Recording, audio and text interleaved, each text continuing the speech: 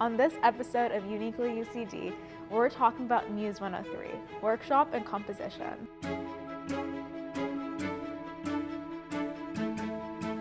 Have you ever thought of composing your own music?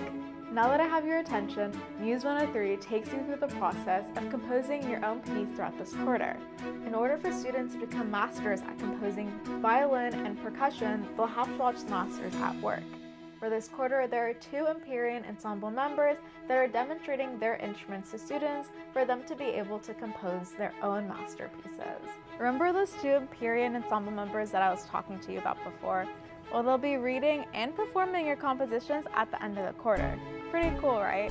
Want to compose your own music? Check out Muse 103 and other Muse classes on the Department of Music's website, and consider adding it to your schedule if this sounds like music to your ears. As always, stay tuned for more unique classes on Uniquely UCD.